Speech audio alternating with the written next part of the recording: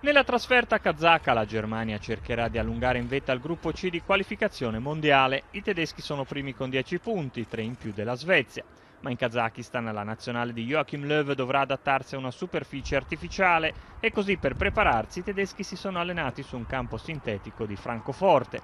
Il vice Löw, Hans-Dieter Flick, sostiene che il fondo del campo pertanto non sarà un problema per i Panzer.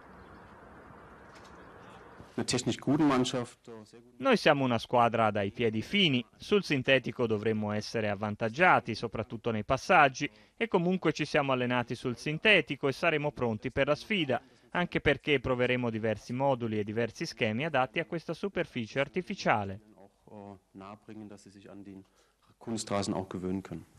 Flick si dice tranquillo, ma la nuova superficie ha già mietuto la prima vittima. Il centrocampista del Real Madrid Sami Khedira infatti ha dovuto terminare la sessione d'allenamento in anticipo per un infortunio alla caviglia.